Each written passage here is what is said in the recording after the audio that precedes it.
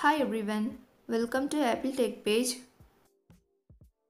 Many iPhone users are getting an error while loading pages in Safari which says application error, a client-side exception has occurred.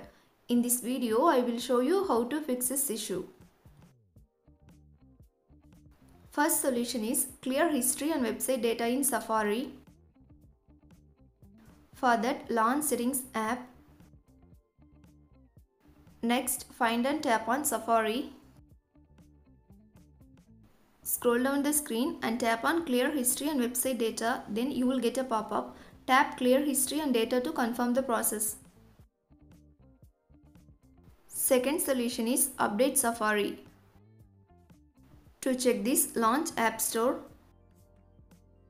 Tap Search tab at bottom.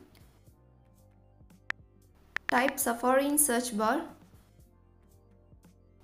If update available for Safari, update it. Third solution is first restart your iPhone. If you have iPhone 8, 10, 11, 12, 13, 14 and 15 series and iPhone SE second and third generation, do the following steps. Quickly press and release the volume up button. Next, quickly press and release the volume down button. Finally, press and hold the side or power button until you see the Apple logo. Don't release this button when you see slide to power off. Thanks for watching this video. Do like, share and subscribe to Apple Tech page.